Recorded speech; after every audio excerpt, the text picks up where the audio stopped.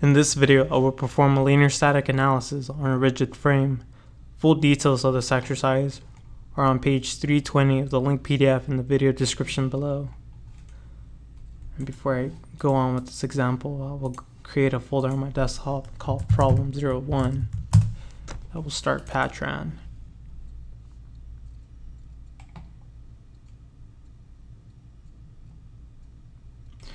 I'll create my new database and save it to the folder on the desktop. I will click OK on the form on the right. Uh, before I begin the example, I want to create my cross section for the beams. So under Tools, go to Beam Library. Here, I will create a new section called cross section. I will scroll through the menu here and select a rectangular section. My width is 0.5 and my height is 0.5. If I want to view the area, moments of inertia, and so on, I can calculate a display here. I minimize the window. I can view my area, moments of inertia, and the various other section properties. After you're done, hit OK or apply. And make sure here we get the feedback that says beam section cross section created. Now I can go ahead and define my geometry. Go to the geometry tab and create a curve using the line by XYZ method. So here what I'll do is define a vector that makes a curve in this direction. I'll make two curves that go horizontally in this direction and then I'll make a curve that goes vertically down in this direction. So from the origin, my first curve will be defined by a vector going 0 inches in the x, 7 inches in the y, and 0 inches in the z. Here I've used spaces between the values. Another way of typing it in is 0, comma 7, comma 0. Hit apply. Here's my first curve.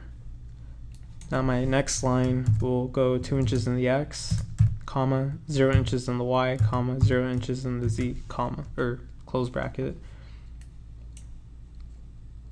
the original point for this vector will be this top point. So, click this one time. Notice a curve is created. Now click this point and my second curve is created. For my last curve, it will go 0 inches in the y, or the x, 7, or negative 10 inches in the y, and 0 inches in the z. From this top point, click it, and your last curve is created to make my materials, go to the properties tab, make an isotropic material, call it matte.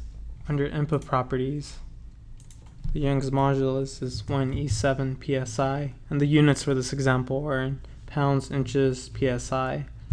My Poisson ratio is 0.3. Click OK and apply. Now to apply the cross section and the material to the curves, I need to make a 1D property that uses the beam option. So once you click beam here, you will need to create two properties, one for these two vertical curves and one for the two horizontal curves. So here, call it vertical curves under input properties click this I or W section icon, select cross section, under material, click this icon and select the material you made a moment ago. Under bar orientation, create a vector that is in the x direction, so 1 in the x, 0 in the y, and 0 in the z. Click OK.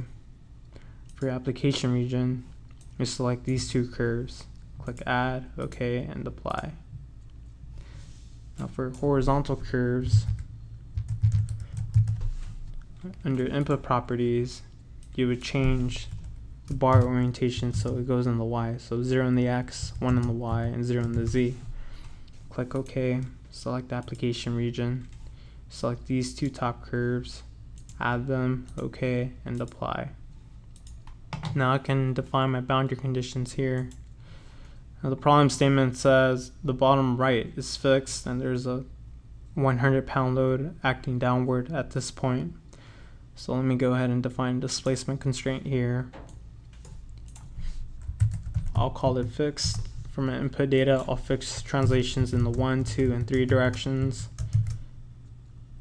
And rotations about the 1, comma, the Y, comma, and the Z direction. And recall that I can either add spaces between the values or I can add commas. Click OK, select your application region. Here I just want to select points, so I will pick the point filter here. And you'll notice that two entities have been selected here. This is point 0.5. This is actually curve 4. The first point is here. The second point is here. So by saying curve 4.2, that is the same as saying the end or the the end of curve 4, which is this point. So these two are actually the same. So add them, okay, and apply. Now to add my force, I will click nodal force here, call it F under input data. The load acts 0 in the X, minus 100 in the Y, and 0 in the Z. Click OK, add it. So for your application region, you would select this point. And again, here it's selected curve 2.2, which is this curve, and the second point. And here you see curve 3.1, 3, 0.1 and 0.3 would just be its own point. So add this, okay, and apply. I zoom out using the, holding down the control key and the middle mouse button. Let's do the loading here. I can go ahead and mesh this using the curve mesher here. I can select all the curves like this, or I can simply use the pick all shortcut here and apply. Click yes for all here. And now let me clean this up and let me show you the node numbers. So here under the home tab, click the L icon or the label control icon here and click nodes. So here you see the numbers for all the nodes, one, two, three, all the way to seven. Here it's sort of difficult to read the eight. You notice it's 10 here. Nodes eight and nine are overlapping. Here nodes 11 and 12 are overlapping and nodes 14 and 15 are overlapping here. In order to fix this, you would go to the meshing tab and you would click equivalence here. Click apply and it removed duplicate nodes. So now you can clearly read the nodes and you don't have any more overlapping nodes. So once you're done with that, go to the analysis tab analyze the entire model, but before that, we will modify the subcase. Select the default subcase. Under output requests, remove the stress and the SPC forces and add grid point force balance. The grid point force balance will allow us to create a free body diagram click apply and cancel. And now you can hit apply here and submit the job to Nastran for analysis. Let me fit the model using the fit view icon here. Let me turn off the node numbers and let me import my results. So I would click on XDB here and apply.